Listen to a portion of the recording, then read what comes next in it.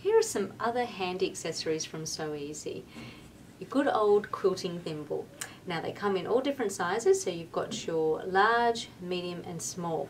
Now all of the packs have got a little hole in the back there, so you can actually just size up your finger there to make sure that you do come home with the right size. They've also got a, um, a great quilter's finger guard, so when you're doing a lot of quilting at high speeds, it's just going to protect your finger there as you're pushing the fabric through, so no sewing through your fingers. And this one here is the thumb thimble. So I'll just show you how that one there works. So this is a great hand quilting product. So you just slip that over your thumb like that. Now as you're quilting, with this one here, I'm just going to do some quilting stitches that are about a quarter of an inch apart. I just want to do some nice larger stitches there.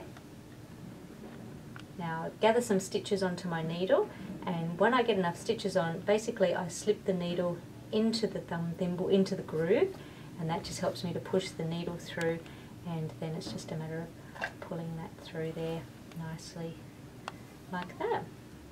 I'll show a few more stitches there so quilting stitches, nice big ones there. It's basically just an in and out motion there with the needle and then pushing through the needle into the groove and then out again like that. So a very useful tool there from Sew Easy.